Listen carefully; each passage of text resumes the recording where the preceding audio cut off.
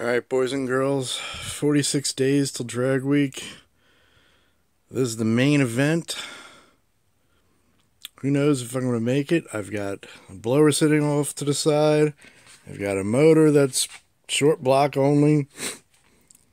Uh, got a transmission that needs to be built. I've got a car in pieces.